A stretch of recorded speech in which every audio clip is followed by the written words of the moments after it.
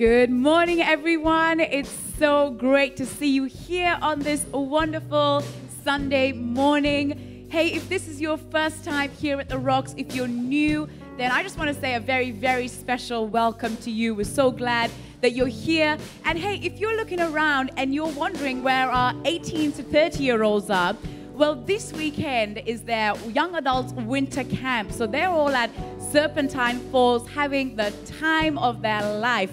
I know because Dev and I went to visit them yesterday and they're having an absolute blast. And, but you know when you go somewhere and you really realize that you're really too old to be there?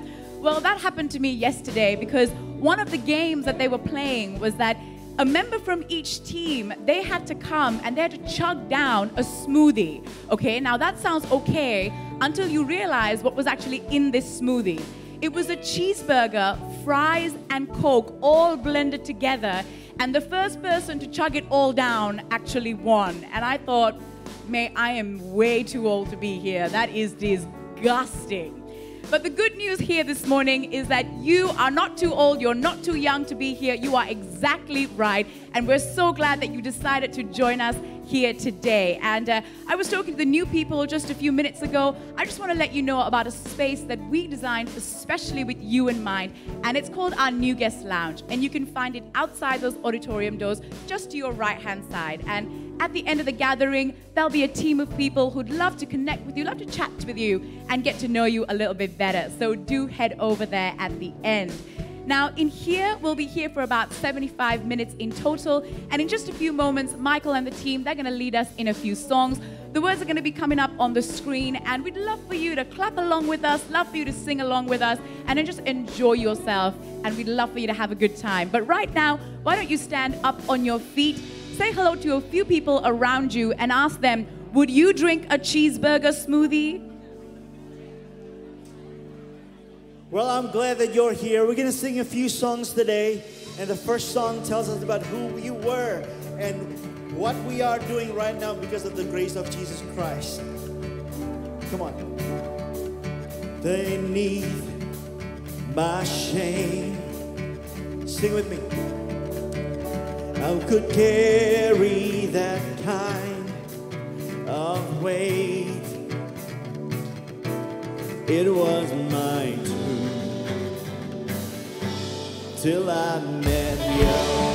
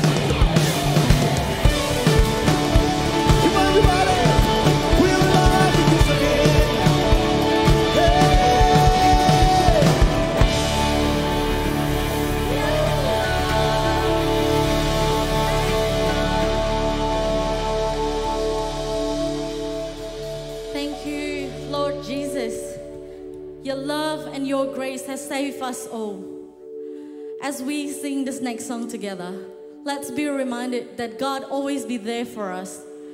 His love is consistently available for us at every time of our life.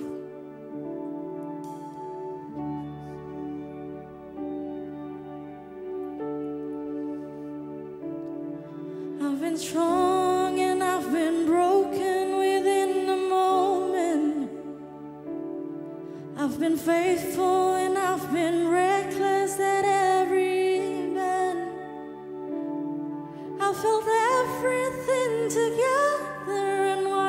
shattered after torn and I have crumbled in the same breath. I have wrestled and I have trembled.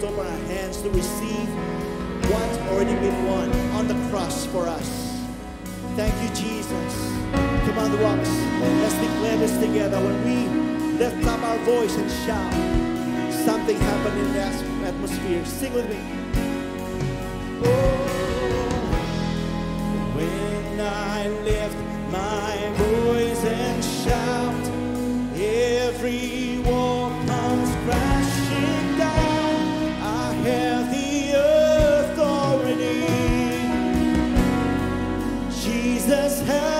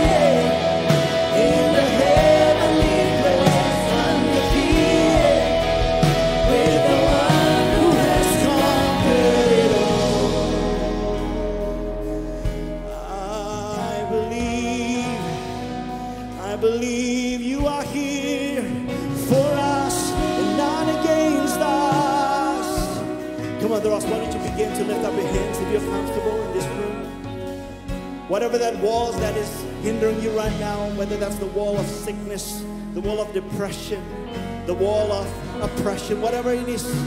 Why don't you start to declare, to shout the name of Jesus? Because we have the authority that Jesus has given us. He has conquered the grave for us, and we are more than conquerors. Why don't you sing one more time? When I my voice and shout, every wall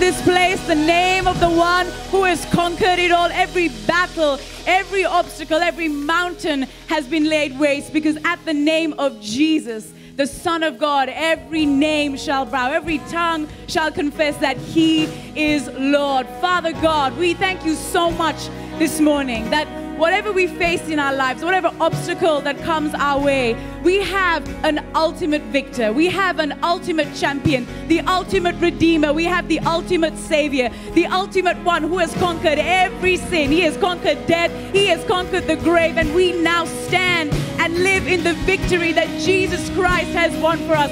Is anyone grateful for the victory of Jesus this morning? Is anyone thankful that we have a champion in heaven who is fighting on our behalf? Is anyone thankful that we can live in victory because God says that we are conquerors and that we are more than enough for all that He has called us to do? Come on, if you believe that, can you sing this one more time?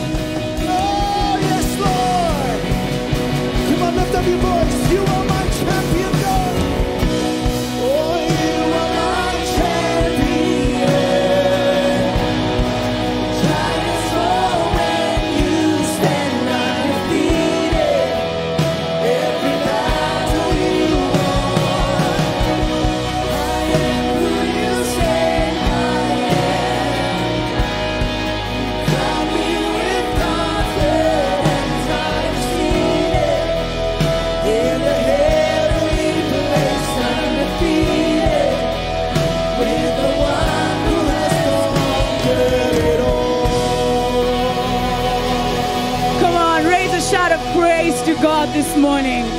Yeah, that's right. Lift it up. He is worthy.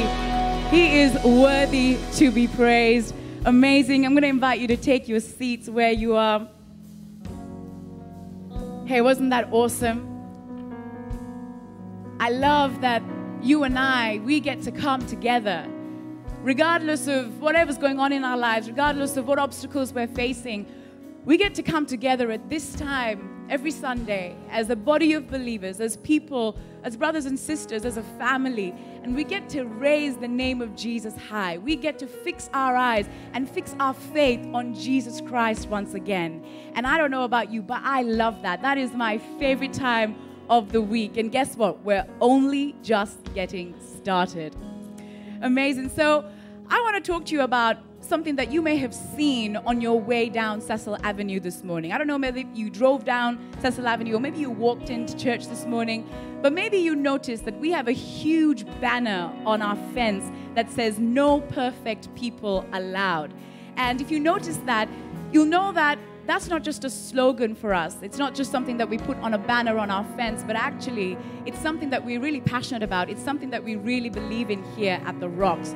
Because you see, we don't think that any of us are perfect. We're all in need of God's love and grace to live this journey that we call life.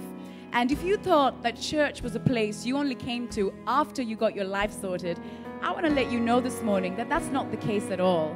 You know, all of us, like I said, we're not perfect. We're all on a journey and we keep transforming with God's grace. And, you know, what we found is that our God, He's so amazing that He loves us exactly as we are. And you this morning, I want to let you know that you're welcome here exactly as you are as well. But the fantastic thing is that what we found is that God loves us as we are, but He loves us too much to leave us as we are. And so we're all a part of this beautiful journey of transformation that God invites us into. And today, that invitation is open for you as well. Now, speaking of today, we are starting a brand new sermon series, and we have our very own lead pastor, Pastor Daniel Indrajaya, back, and he is going to come and bring an awesome word this morning. And our series that we're starting is titled Stop Going to Church. I know, pretty controversial. What does that mean? Does that mean you need to come to church next Sunday? I don't know, but Pastor Daniel is going to let you know. So make sure you're paying attention. But can I encourage us right from the get go? Can we lean in? Can we get really expectant and draw out and take hold of everything that God has to say to us through Him? Fantastic. Well, we're going to move on in our gathering and we're going to continue our worship by coming around our giving. And if this is your first time here, if you're new to church, or if you're a guest with us, I just want to let you know that you are under no obligation at all to give. You know, this moment is for us who call ourselves church family, who call ourselves Christians. We consider it our joy and indeed our privilege to be able to give to God. Uh, but of course, if you'd like to do so, then you're more than welcome to join us. There's a few ways you can give this morning. The ways to give will be up behind me on the screen. Easiest way to do is to automate your giving and head to the rocks.info. You can give online, or you can use one of the envelopes that you would have found on your seat as you walked in. Just fill in your details and you can pop it in the bucket that's going to come your way in a few short moments. Well, as you're preparing to do that, just want to take a few minutes to say a huge, huge heartfelt thank you to all of you, to so many of you who give so generously week in and week out. You know, we are able to create spaces just like this one only because of your generosity. And, you know, the Bible talks a lot about giving, it talks a lot about generosity. And, um, one of my favorite scriptures is where it says, God loves a cheerful giver. You know, I love that. And for me, I don't know about you, but for me, I don't find it too hard to be generous towards God. Because the way I see it, everything I have in my life is a gift from God. Everything I have is a blessing from Him. So why would I withhold anything from the one who's given me everything? And so I don't find it too difficult to be generous towards God. But let me tell you where I struggle sometimes. I struggle in my giving sometimes because sometimes my action doesn't always match my intention. My action doesn't always match my intention. Um, let me illustrate. Last week, someone gave Dev and I a beautiful box of cupcakes. It was so decadent, it was so exquisite, it was almost too pretty to eat. And my intention was, Pastor Daniel, that I was only going to eat half of one. But something happened, you see, and I stumbled and I fell into the box of cupcakes and I ended up eating three. So my intention clearly did not match my action. And it's the same thing when it comes to my giving sometimes. I'm cheerful about giving. I want to give. I'm excited about giving. But sometimes I forget. Sometimes I procrastinate. Sometimes I leave it till later. And then when the moment comes, I realize that I don't have as much as I wanted to give my intention of giving doesn't always match my action of giving. And so that's why I love that in this church we don't teach tithing, we teach priority percentage giving, which means that the first thing that we do with everything coming in is that we prioritize giving to God. And we save some that we decide to save, and then we live on the rest. We give, we save, and we live. And that's an incredible principle that has changed and transformed mine and Dev's lives. And, you know, perhaps for you this morning, as you think about your giving and think about how it could bless you, I've found that this is pretty practical, but it's also very spiritual because it enables us to be good stewards of everything God has blessed us with. So it's something to think about, and perhaps it's something that you want to talk around your family with, and think about how you can prioritize God when it comes to blessing Him and being generous in your lives. Amazing. Well, thank you, host team. You can start releasing the buckets now. And while that is happening, here's John to tell us everything that's coming up in the life of our church. Hey everyone, welcome to The Rocks. My name is John, and I would like to extend my warmest welcome to you all here today. Straight after this, we're going to be listening to an inspiring message that we're praying will encourage you, challenge you, and uplift you. But before we do so, we're going to see what's happening around the life of our church. Let's take a look. If this is your first time here today, I want you to know that one of the things we say around here, that the Rocks is a place where you can belong before you believe.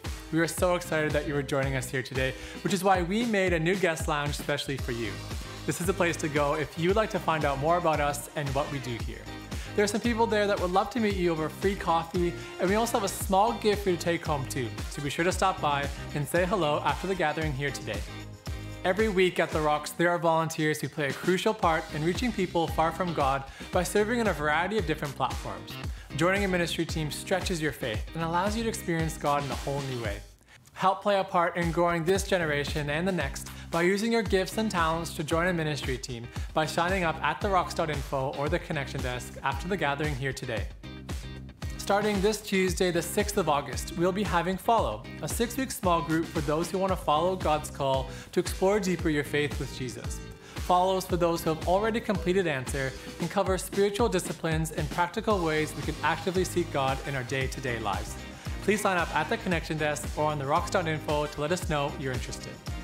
Praise and worship unlocks the deepest depths of our spirit to connect and be moved by God.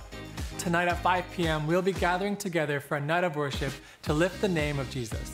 We're gathering to see breakthrough, to restore faith, to raise hands in surrender, and to glorify God. It's going to be nothing short of powerful, and there's a seat with your name on it. Thanks again for being with us here today. To keep in touch with everything happening around the rocks, you can find updates in some of our winning stories on Facebook and Instagram by searching the handle at the Rocks Perth. If you have questions about anything you've heard today, or just want to find out more about our church, stop by the connection desk or visit us online at therocks.church.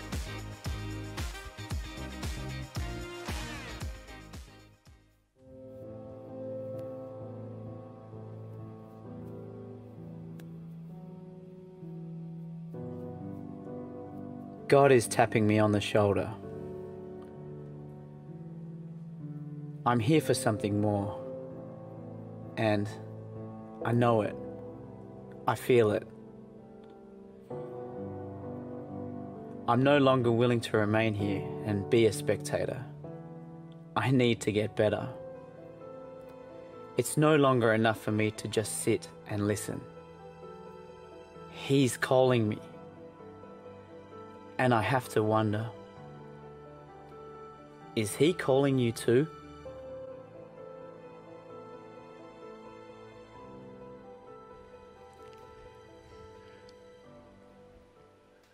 Good morning, everybody. My name is Daniel Indrajaya. I'm one of the pastors here at The Rocks. Let me extend my personal welcome to all of you here this morning, especially for those of you who are newer to the church. Um, I don't want to take for granted that you choose to spend your Sunday morning here with us, and I think that's super. That's amazing. I also want to welcome our YouTube viewers and podcast listeners joining in from all over the world. Thanks for joining in as well. Hey, as Sid has already mentioned, we are starting a brand new two part short message series that we're calling Stop Going to Church. But before I dive in, let me encourage you to come back tonight for a night of worship. It's going to be fantastic. I love singing that new song, You Are My Champion. I felt like, you know, uh, my, my faith has been restored in that few minutes when, while I was singing that song. Uh, it's amazing. So please, I want to encourage you to come back and uh, keep praying for John Atkinson, the guy you saw in the video, and the young adults who are having a, a YA camp as we speak right now. I'm wearing the awesome merch. Look at this. The theme this year is citizen and they're going to come back and join us for the 5 p.m gathering if you want to welcome them if you want to encourage them uh, and i think john made so much you know, so many merch. There will be some available for sale as well if you like what you see right here. The two reasons why this sweater looks really good. Number one is great design. Number two is the person wearing it, obviously, right? So if you please make sure you get some. All right. Hey, um, when you talk to the people in our culture, um, what comes to their mind, you think, when they think of the word church. When people ask you your relationship with church, what question do they ask? Where do you go to church? Which church do you belong to? Where is your church, right? Uh, for most people in our culture, church is a destination. Church is a place that you go to. Sometimes it involves a building. You know, while that is a common understanding of church in our culture today, but do you know that it's not the actual meaning of the word church? I want to read you a verse from uh, Acts chapter 11, verse 26. Uh, this is when Barnabas met up with Paul. Then Barnabas went to Tarsus to look for Saul. He was still Saul at the time. And when he found him, he brought him to Antioch. So for a whole year, Barnabas and Saul met with the church. Now, if church means a building, this phrase would read funny, then it would read Barnabas and Saul met with a building. It doesn't make sense, right? But they taught a great num- numbers of people because church is, that's it. Church is people. Actually, in the Greek, the word church comes from this Greek word ecclesia. It's actually a compound word from two words, ek meaning out, from which we get the word exit, and kaleo, meaning called or called out. So literally, the word church means called out. People who are called out. And the assumption is they are called out for a purpose. They're called out for a reason. Now, if you've been all around social media, you would find this phrase all over Instagram and Facebook. It's very popular these days. And the phrase goes something like this Stop going to church, be the church. All right? Now, while I understand in context what it's saying, I think I understand what it's saying. Unfortunately, a lot of people have taken this out of context to give them the permission, to give them the out to not go to church at all. Is that what we're saying? Uh, and you know, just a quick search on Google. Uh, I, I, I Googled the word stop going to church or don't go to church. You know how many hits I have? Close to 700 million hits on the phrase stop going to church or don't go to church. You search for uh, the same phrase in YouTube. This is what I came up with. This is from YouTube search. Why I don't go to church anymore. Why we stop going to church. 12 reasons why I stopped going to church. Why I stopped going to church. You know, like all these reasons. People think because church is not a building, and they are right in saying so. Because church is not a destination, they understand that church is people. That give them the reason that's why I don't like to go to church, you see? That's why I don't want to go to church. Is that the right interpretation of what the church should be or what the church means? Right? I understand going to church doesn't automatically make you spiritual. I got that going to church doesn't automatically make you a better husband or a better wife. I understand that. You know, I understand nowadays you can catch church online as well. And I think some, sometimes there's a good reason for that. But let me tell you, I want you to come back next week because next week I'm going to argue with you. In order for you to be the church, you need to go to church all right? And not for the reason that you think either. So make sure you come back next week for the second part of this sermon series.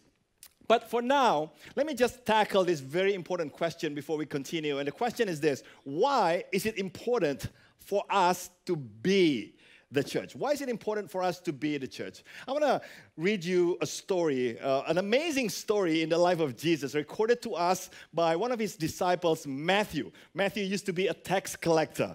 You know, he was despised by the society, and then Jesus took him on. Jesus believed in him, and he left everything to follow Jesus, uh, which goes to show that whoever you are, you know, you are always welcome by Jesus. You know, you're always welcome to look for Jesus, and Jesus will never shoo you away. Jesus will always welcome you with open arms. And, and that's what he did with Matthew. And Matthew recorded this incident in the life of Jesus. If you grew up in church, you would know this story. It's very powerful. And I think this is pivotal in the history of our church. All right? I want to read from Matthew chapter 17, uh, just the first four verses of this, this passage.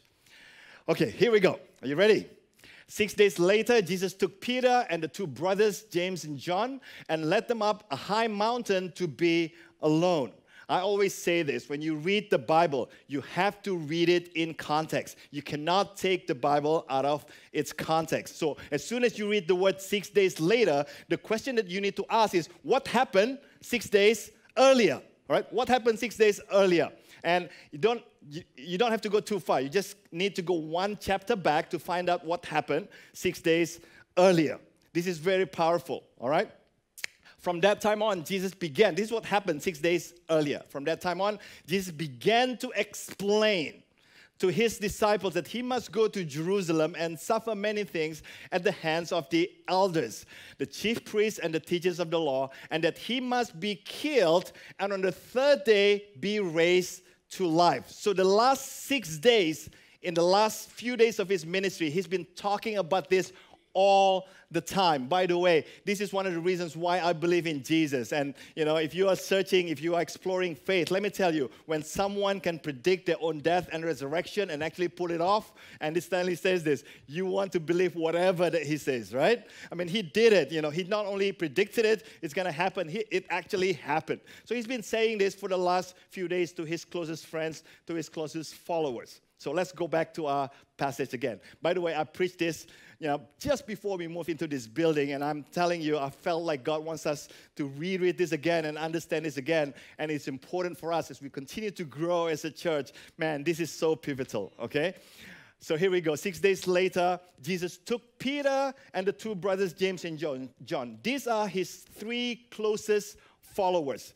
Jesus has his three, he has his 12 apostles, and he has his 70 disciples All right? And these are the three closest friends that he got, and led them to a high mountain to be alone. And as the men watched, Jesus' appearance was transformed so that his face shone like the sun and his clothes became, became as white as light. And suddenly, Moses and Elijah appeared and began talking with Jesus. Now, I have to stop right here and explain to you what happened because otherwise, if I don't stop and explain, verse 4, the next verse will not make sense to you. All right? This is what happened. If you know anything about Judaism, if you know anything about the Hebrew Bible, you know that Moses and Elijah, they are the rock stars for the Jewish people. They are the superheroes, they're the superstars of the Jewish people. Peter, James, and John, they grew up listening about these guys. How Moses led the people of Israel from Egypt. How Elijah defeated 450 prophets of Baal on Mount Carmel. You know, these were these guys are the heroes of the faith. And you can imagine how excited Peter and, and, and the rest of these the apostles, James and John, when they saw Jesus and um, Moses and Elijah. And this is what happened next. All right? Verse 4 Peter said to Jesus, Lord, Lord, it's so good. It's good for us to be here. You know, he even tried to bribe Jesus. If you wish, I put up three shelters. I, I do all the work. You don't have to worry about anything. One for you, one for Moses, and one for Elijah. Now, you know, there's nothing wrong with Peter wanting to stay there forever, right? I mean, you can just imagine you are up on the mountaintop with Jesus, the Son of God. Can you imagine? Wow, that, that alone is just super amazing. Am I right? But this time it was even better because Jesus, for the first time, at least, you know, from the point of view of Peter, Jesus was actually being transformed.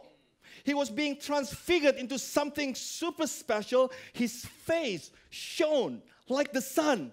His clothes were shining as light and like wow, you can imagine the thickness of the atmosphere, the glory, the weight uh, the, of the atmosphere at the time. It was super amazing. And on top of that, Moses and Elijah were making guest appearances. Man, Peter, he was like in an all star game. He was like a fat kid in a donut store. You know, like, this is amazing. Jesus, can we stay here forever? Please, let us stay here forever. It's like Jaden when I took him to Bali when he was a kid. Dad, can we stay in Bali forever? This is super. This is amazing. And, and Peter was not wrong in thinking that way. Let me ask you, who took them to that, mountain, to that mountaintop experience in the first place? It was Jesus. So, in other words, Jesus wanted them to have that kind of experience. Jesus wanted Peter, James, and John to have that genuine encounter with the glory of God that was super amazing at the time. You know, you won't hear it from this pulpit, you won't hear it from me that God is out to get you. No, no, no. God is out to bless you. Yeah, sometimes God disciplines us for our own good and all that. Sometimes God allows suffering to come in our, in our life for a reason that we don't always understand. But let me tell you, if you think that God is out to get you, you're wrong. God is out there to bless you, to take you to a mountaintop experience, to a genuine relationship with Him that is not fake, that is real, that is based on His glory itself. You know, that is who our God is. You know, so don't. Uh, don't misunderstand our God. He is a good God. He's an amazing God. He's the God who wants to take you to that mountaintop experience. You know, we didn't read, or we couldn't read what Jesus' response was to Peter because Matthew didn't record what he said to Peter in response to this request from Peter, because not everything Jesus did and said was recorded in our Bible.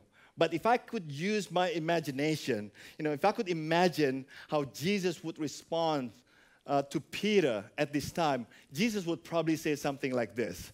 He said, Peter, I know it's so good, isn't it? You know, I took you here, remember? You know, I wanted you to feel this mountaintop experience, but Peter, guess what?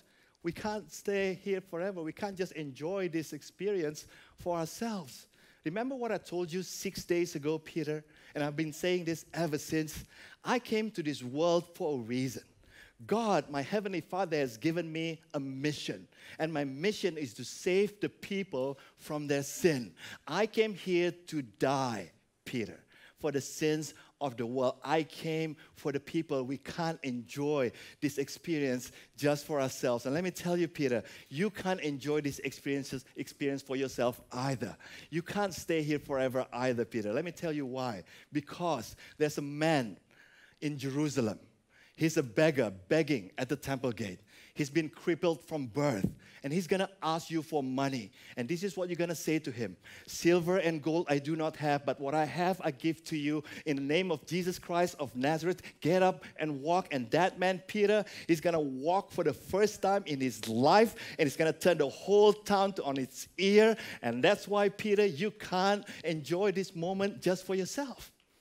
You're gonna meet a woman She's an amazing woman. Her name is Dorcas. She lives in Joppa.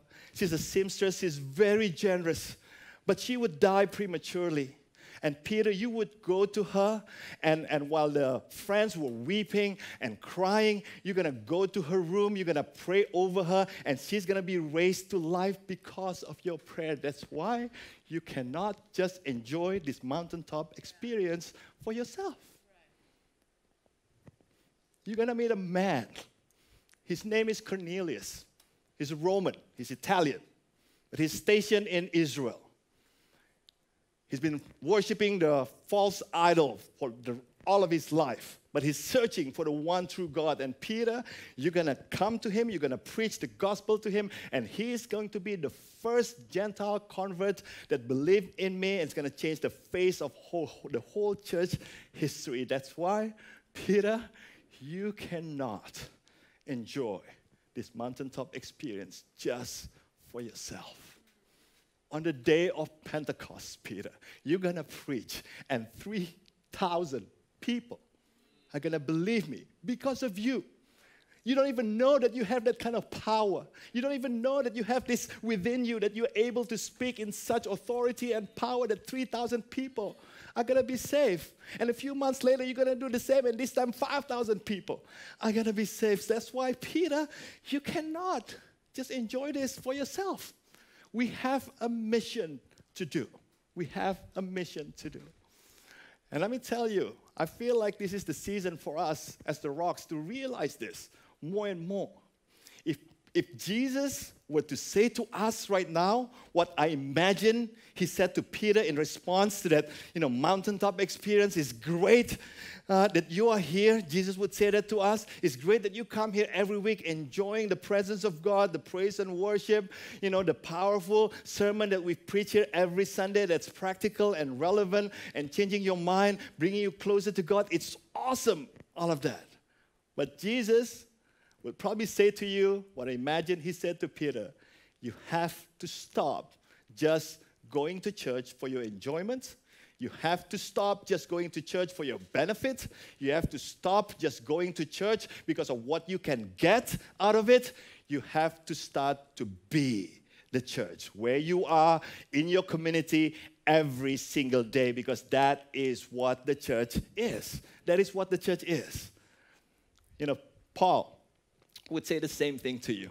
In Ephesians 2, verse 10, Paul says this For we are God's masterpiece. He has created us anew in Christ Jesus. Do you know the reason why you are redeemed from your sins? The reason why Jesus came to save us from our sins is not just to take us to heaven, that's part of it, and that's wonderful. Not just to give us eternal life, and, and that's what happened when you put your faith in Jesus, you have eternal life. But that's not the only reason. Look at the last part of Ephesians 2:10. So that, that's a purpose statement the reason why you are made anew in Christ Jesus is so that we can do what? The good things He planned for us long ago. So God is saying to you right now, you're not here to just take up space. Devinda, you are here for a reason. There's power in you that you don't realize you have. And there are people that only you can influence. Right?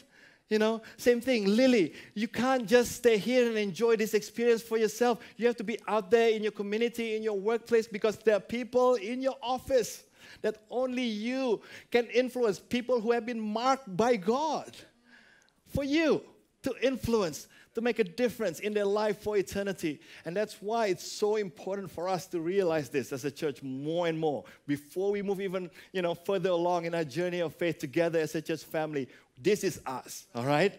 Church is not just something that we go to. Church is who we are. And if you're wondering what that good work is, of course, it takes on many shape and form. But the main thing, I believe, the reason why God gives you the Holy Spirit is this. This is the history of, our, of the church. Acts 1, verse 8. This is the pivotal point in the history of the church. You will receive power when the Holy Spirit comes on you, and you will be my witnesses in Jerusalem, in Judea, uh, in Samaria, and to the ends of the earth. We are to be the witnesses of Jesus Christ where we are. This is our Jerusalem. Cannington, Canning is our Jerusalem. Perth is our Jerusalem. We have Australia. That's our Samaria. You know, uh, that's our Judea, our Samaria. And then we have the ends of the earth. That's why we, we emphasize missions in this church. That's why we want to increase our missions budget because we are here for a purpose. We're not here to just play games. We're not here to just entertain ourselves. There's a mission, an important mission for us to do. The question is how do we work that out? How do we be the church? I want to show you a video. Maybe for some of you, this is how you be the church. Let's watch this. Now, Hindus, they believe in many gods, but we know what the Bible says about one God. Jesus. Jesus is the best. Jesus wants to save you and show you the way. He is the way. Yes, I bring Jesus to you Hindus. Jesus is the way. Jesus is awesome, Son of God. He'll set you free from this idolatry. God will hear your prayers if you turn to Jesus. Turn to Jesus Christ. Wicked, wicked, wicked. God will send judgment if you don't quit worshiping idols. God will send his judgment, Bali. Thou shalt have no other gods before me, says the Lord. You're breaking God's law. You're breaking God's law. Repent. Repent. Time is short. You can't keep worshiping idols and expecting God to bless you. God will destroy your idols, Bali. God will destroy your idols, Bali. God is nowhere near your celebrations. God calls you to turn. Stop bowing before these idols. Turn to Jesus Christ. And that goes on and on for a lot more minutes than that. Is that how you be the church? You know, unless you've been living under a rock, you have heard about this guy in social media lately. Now, before I say anything that, you know, I know the church is divided over this issue, let me just say this. I really respect uh, Israel Folau for his courage in standing up for his faith, his courage in standing up for Jesus. I admire, honestly, people like him, Margaret Court, and, and the rest of the Christians who, who are so bold in speaking out uh, for God. That, to me, that's amazing. I mean, many of us can learn from the courage that these people have, all right? And, and number two, I really believe that freedom of religion, freedom of speech is what we have to fight for in a free land like Australia. This is something that we have to fight for for sure. But I'm not sure if this is how, this is the best way for us to be the church. Remember what Jesus says in John 3:17, I have come to this world not to condemn the world, but to save the world. And and and Paul says this, and this is something amazing. Not too many Christians know about this verse, but Paul says this um, What business is it of mine to judge those outside the church. Are you not to judge those inside? God will judge those outside. Paul says, You have no business. I have no business judging people who are outside. That's God's business.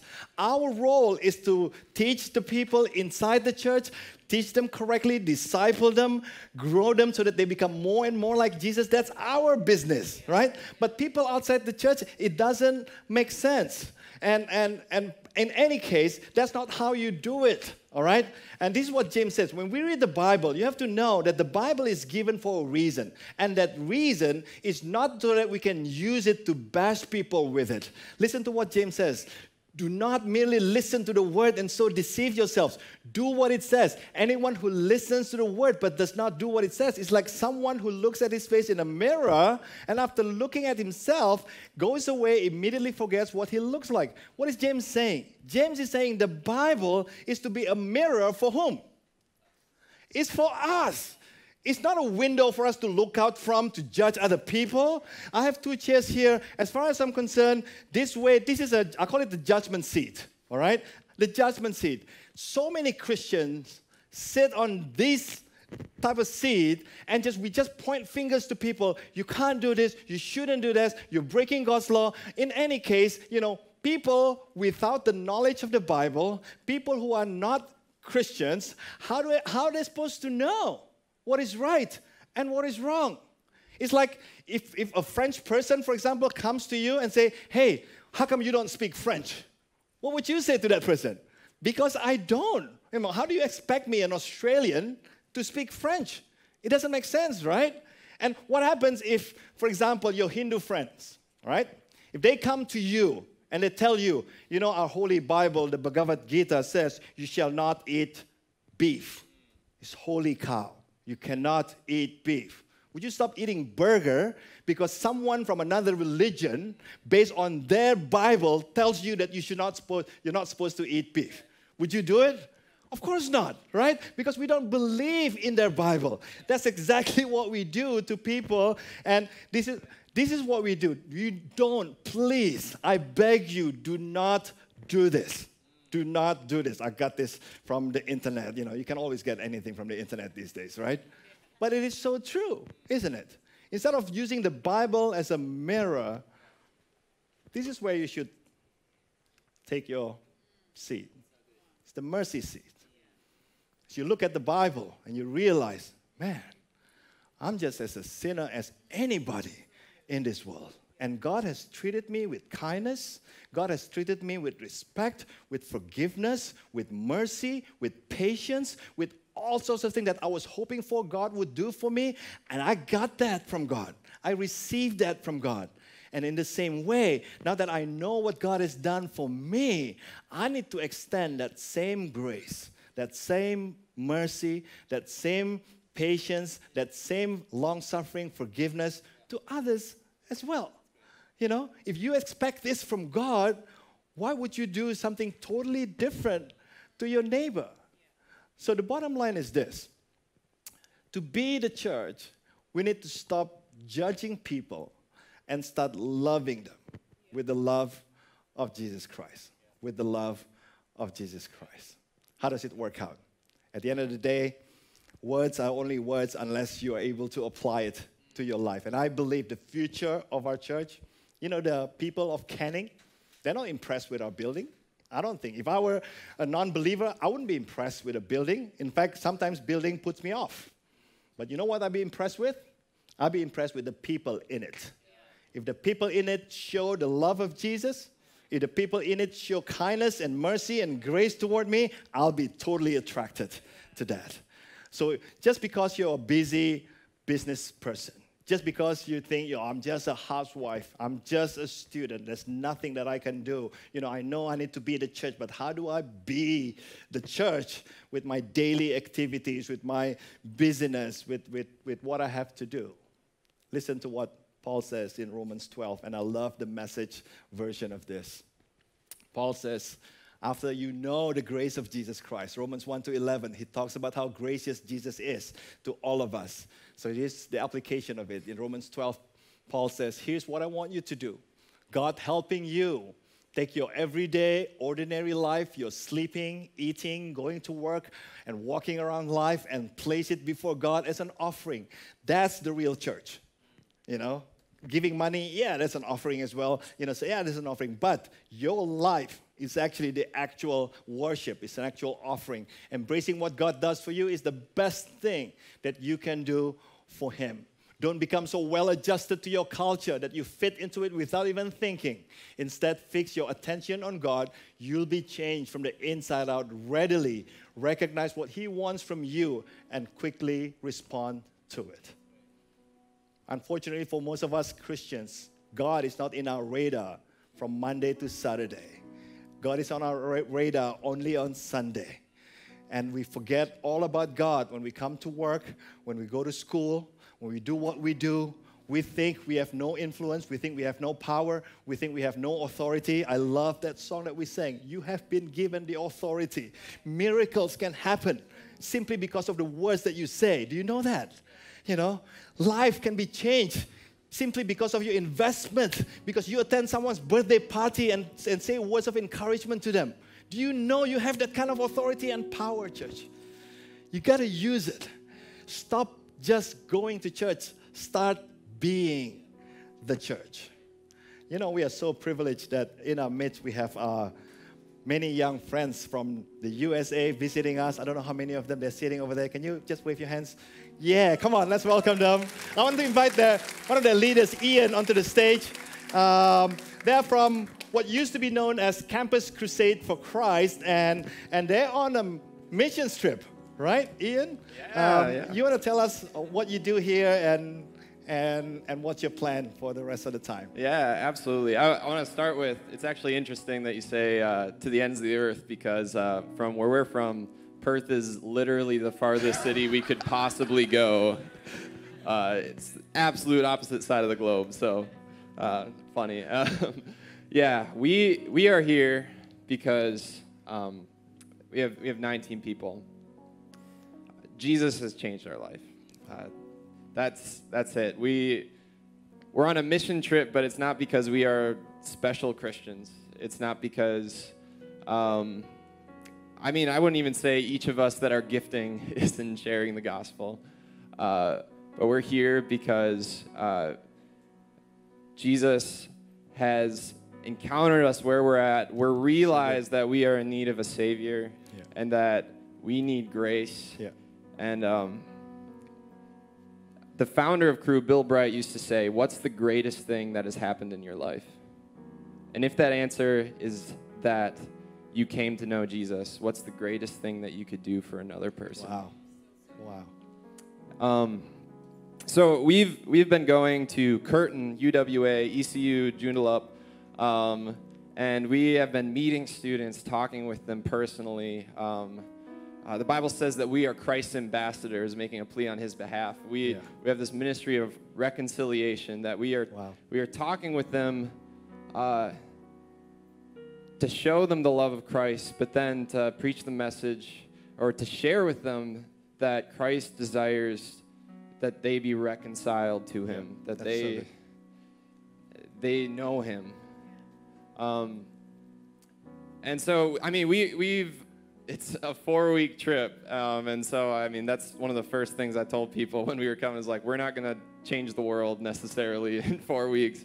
Um, but we are here because, um, like Australia, the Rocks, we, we love you too. Um, Revelations, there's this passage that talks about uh, the church of Christ in heaven, and it's every tribe and every tongue and every nation coming before worshiping uh, the King of Kings. And uh, something on our heart is that God is best glorified when every culture, every ethnicity so is worshiping Him together. And so we are here because, uh, well, to put it, like we want to know Christ more fully, and and that's the thing too is like we are what we're doing is we are on campuses talking to students, sharing the gospel, but we know that God doesn't need us. Yeah.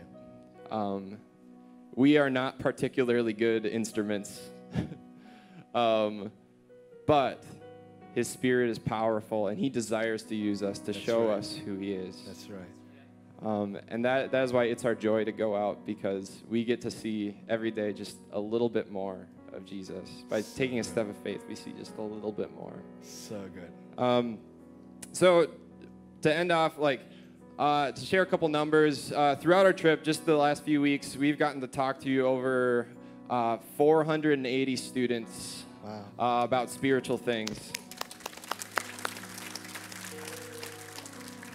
We, we've got to meet them, to get to know them, to, to hear about their life, their culture, everything, and uh, to actually personally engage them about what they believe. And uh, for a lot of people, it sounded like that's never really happened, that someone sat down face to face and actually talked with them about that.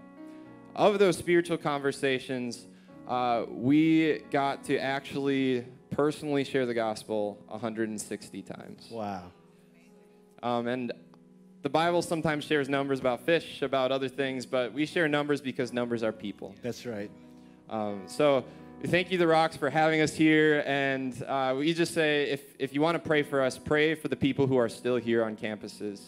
Um, we'll be traveling back starting Tuesday, but pray for the people who are still here. Um, we're partnering with Power to Change. It's an organization on universities that does the same thing. It, uh, the people there try to share with students the gospel and then build them up so that they can do the same good. for the people around them. That's so, good. Thank you so much, Ian. Would you just stand here and we're going to pray for you? Um, I want to ask one last important question. Yeah. Have you tried Vegemite? I have. I have. Actually, uh, when I was about seven, we had a culture day in elementary school, and I was, I was horrified. um, well, and then they told me that like people, people in Australia don't really like peanut butter, which was astounding. I, I don't know. Maybe they were wrong with that, but I always thought it was just a one-for-one trade, Vegemite for peanut butter. But but thank you for sharing. You know, they came here on their own. We didn't invite them. We didn't know they came here two weeks ago, and now they're here again. And you know, I don't believe in coincidence. I believe you and your team are here to encourage us as a church so that we can be better at being the church. And we're here to encourage you as well and to believe in you that God has something great in store for all of you as you move forward in your faith journey together. So we're here to mutually encourage one another. And I don't believe for a second that any of you belongs to this church by coincidence either. You know, I believe you're here for a reason, for such a time as this. You know, ask yourself, why do I attend this church? Why am I here at this time? I believe God has a, has a special plan for your life as well. All right? So, would you bow with me and, and, and pray for Ian and the team as they go to Sydney and move, uh, go back to their country, that they will constantly presence the leading, the presence of God in their life so that they can make a huge impact in their world. All right, let's pray. Father God, thank you so much for Ian and the team. Thank you, God, how encouraging his testimony is for all of us. Lord, all of us need to learn, learn to be better at being the church where we are every day in the place that you have placed us. Thank you so much, God. I want to pray blessings on the team as they move on with their journey. I trust that their future is bright with you. Empower them even more with the power of the Holy Spirit so that they can be bold in sharing their faith. They can be an influence, uh, not just for their own little community. May they be an influence for the country, Lord, for the whole world, even. We thank you so much. We're believing for big things from you because we have been given the authority to do this by you. We thank you so much. We believe you. We pray and ask you this in Jesus' name. If you agree with me, say amen. amen. Give a hand to Ian and the team once again. In fact, why don't you just stand up as we conclude our time together? As I said earlier, you know, if you want to come tonight, it's going to be fantastic. And don't forget to come back for the second part of our series next week. Invite your friends to come. I trust that they will be blessed, you will be blessed. All right. If you need any prayer for whatever reason, please come forward. Our prayer leaders will be pray will be standing here. They would love to pray with you and for you. Um, and outside, would you say hi to our new friends uh, when, you, when you see them and encourage them? Um, give them money if you want. I don't know. Like do whatever. Uh, all right. Uh, it is a custom in our church to be released by receiving a prayer of blessing. So if you have the faith to receive it, why don't you open your hands as an act of dependence on our God? Father God, thank you so much for your presence in our midst this morning. God, as we go from this place, may your blessings follow after us.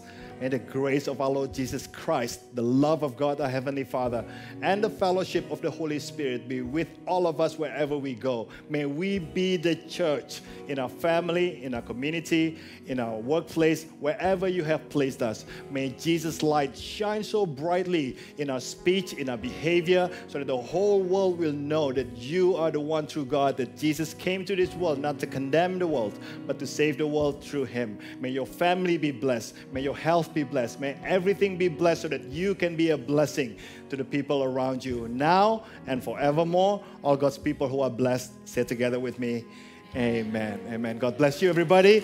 Have a wonderful Sunday.